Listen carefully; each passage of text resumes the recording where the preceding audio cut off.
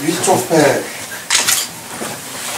성남시장 이재명 귀하의 나라 사랑에 대한 투철한 정신으로 순국하늘과 생존 애국지사의 위상 확립에 힘써 주심을 감사드리며 한국독립유공자협회 정관 제3장 구조에 의거하여 이재명님을 자문위원으로 위촉합니다.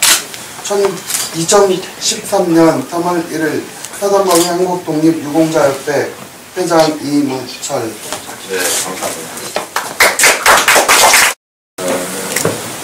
또 이제 독립도 아니고 해방인데 광고를 위해서 저희 희생당한 분들이 너무 너무 대접을 못 받고 있어요. 오히려 어, 정말 이 민족을 힘들게 한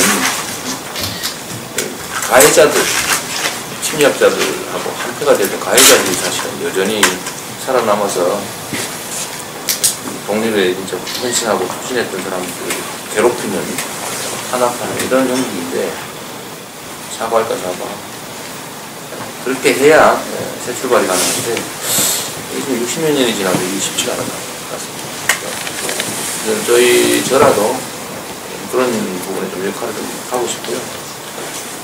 특히 우리 독립유공자협회에 계신 분들 저희가 할 수 있는 대로 저희가 좀이 지역에 가서 자주 오십시오. 네, 네, 오시고 감사합니다. 저희가 법률이 허용하는 범위 내에서 최대한 저희가 잘 모시고 이렇게 이렇게 해야 다음 세대 누군가는 아, 국가를 위해서 민족을 위해서 희생하면 우리 대우 받더라 이런 생각을 하게 되지 우리나라는 최소한 지금까지는 당신들의 희생을 잊지 않기는커녕 자꾸 잊게 하려고 없는 거 만들려고 시도하는 건 아직도 이 나라 제자리 못 섰다는 거거든요.